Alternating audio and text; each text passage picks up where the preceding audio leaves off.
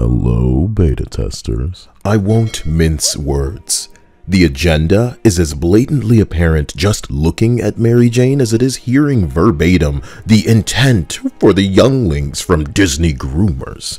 I think the pandering is pathetic. I think community managers blocking people highlighting a backlash that they're ignoring unprofessional. I think calling people terrorist because of their critique, especially in the current climate, is where the hell are your meds, tier psycho, obviously. I do not condone or encourage anyone reaching out to communicate or interact with these nut jobs. But maybe, just maybe, if community manager is your title, blocking people highlighting the backlash from hundreds of thousands of people on Mary Jane's appearance should fall well under the umbrella of what it is your job to do. Furthermore, James, with your giant peach, you did it before. So why are you quiet now? That's how I found this dude. Because of the articles when he addressed the backlash during the first wave of Repulsion beta tester. Even if you're watching this on TV, however you're watching, please, I'm asking you, take the time to like and comment on this video so that this community can get what it deserves to grow. I endeavor to showcase ways they silence you to highlight how little you mean unless you're either a paid shill or are willing to be their token ethnic. Please consider this a part 2 to this video where I summarize the explosively vocal sentiment from fans. And if you were out there making your voices heard, I thank you as well for the constructive feedback that I witnessed without needing to provoke it. I find the more the Middle East needs to tell me that it's fine, the more I know it's not fine. Two months ago, during Blobfish Grand Mary Jane's first wave of repulsive backlash, mainstream games journalists were quick to tell people that it's fine and to calm down. Articles were made parroting the message of this entity with respect to the pronouns that I can't see too well because they blocked me, community manager, in their response to the backlash where they were forced Larry Fink style, to tell people that it's the same model and the same actress. Excellent. Beta testers, now we know that since this woman, even with 10 years and maybe 40 extra pounds, would not look like this, we're aware that they deliberately just ESG stained, DEI smeared, a ugly design on this woman. And if you've been paying attention, I take considerable issue with the erosion of art. I retweeted this man's backlash response, assuring people that it's the same person, and was promptly blocked. Okay. I don't appreciate this treatment as a supporter, but just like how Bungie hides the comments from Latinos while pandering to the Latinx, exactly like Insomniac does, I know that these groups are full of it, it being shit.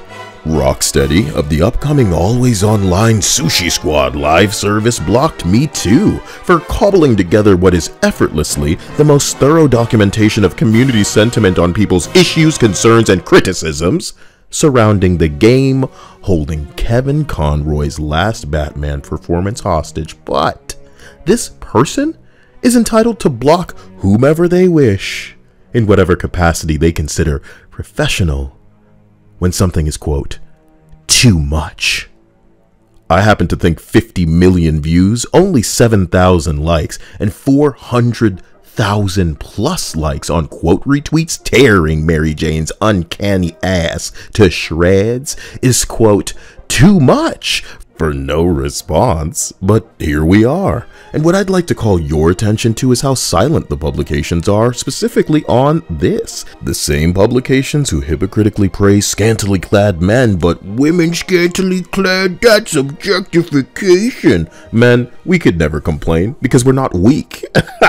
and the women aren't weak either, because no matter how hard and how long woke declares something, it doesn't make it true with all that soy all over your your bib. These people are addicted to rage bait and allergic to not having attention for four minutes, and you're telling me hilariously they're just happening to be silent as the AI shadow looms over them. So, I fixed it. It only took a few words. Put the two of these in front of people, and most of them easily will choose the pretty one. So I remind you, beta tester, that's exactly what they seek to rob you of choice. In a time where even mods making women pretty will soon be banned. Mark my words. But in the interest of clarity, I would like to read the short thread that I posted that resulted in the Insomniac Spider-Man 2 community manager blocking me. Over 40 million views with 7,000 likes, but over 300,000, it's grown considerably since then, in the quote retweets rejecting another deliberately ugly woman in Western video games. Mary Jane is now Meaty Jowls, the bloated blobfish beasting victim because Latin Latinx panderers hate beauty. Retweeting this, I write, when you have to say it.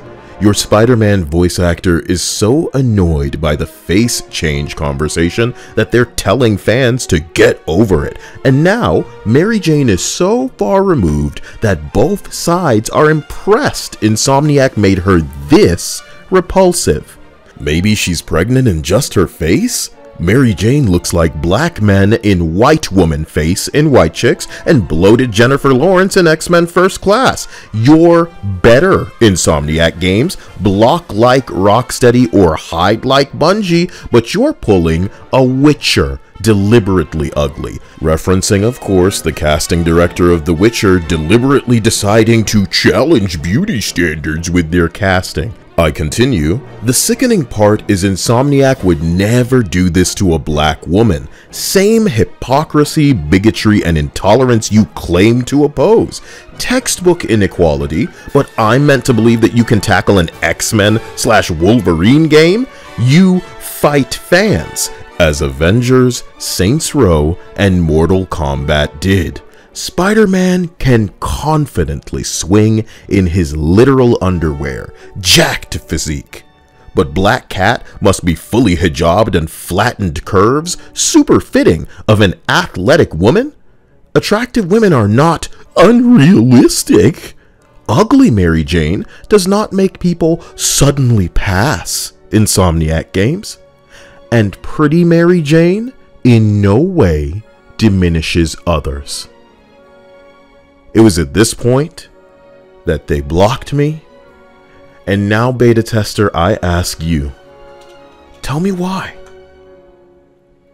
I reiterate this decision is polarizing, divisive, and exactly the kind of click generating game journalist rage garbage that they eat, sleep with, and breathe in, yet they are silent. It's almost like it's not the approved opinion, huh? And if you think it's a not that big a deal to them scenario, the creatives who speak to me in confidence that are forced to remain silent lest they lose their jobs tell a very different story. Suddenly my eyes functioning makes me a tyrant again, fine. But from my position, the disingenuous puppeteering of people too young and stupid to understand that they're being used as props, specifically because there are grown-ass people, die-hard fans available and more than willing to just bend over for whatever you want to shove up there without any lube. You know, I'm willing to bet that there's over 10 different flags and murals in your fucking game this time, right? But communication for a community manager, too hard. It is Marvel's Avengers all over again. That's wild. In my humble opinion, it is not too much to ask in the end. The more this is forced, the more it'll train people to recognize, resist, and choose, lest you try to take that choice away from them. Spider Man 2, you are entertainment and the specific downgrades of exclusively women reinforce the divide we see in the world today. You know damn well what I'm talking about over there. Parker is an everyman. I didn't need him to be black to identify with him. And maybe a girl that Peter considers way out of his league but is somehow interested in him is something to relate or aspire to, but you've made Mary Jane an ignorant nuisance. no doubt, because to you, she's just a cisgender redhead white woman, and you'd much prefer to swap her out with the darker model, right? Maybe Deborah Wilson can play her. I take the time to fight for art because it matters to me. More than any loser spending time thinking about me, throwing names my way. No, you know, it's never going to make me stop. And in some people's cases, it'll make them louder than they'd ever been before beta tester, I'm genuinely asking each of you to like and share your opinion on what I tweeted and why that made it so, you know, this needed to happen. Is it aggressive, rude, cruel, or have you been on the internet for more than a day? taking a position like community manager to be banning people when they're retweeting something you said. That's what I'm talking about. Patrons, thank you for your support. I humbly apologize for my volume in this video, but I want to thank you endlessly for investing the money that you earn into me so that I have the privilege of turning it around and creating something because I'm guessing that were you not to fulfill your obligations outlined in your job description at your job, that you might be disciplined, if not potentially terminated. And that is the difference between us and them.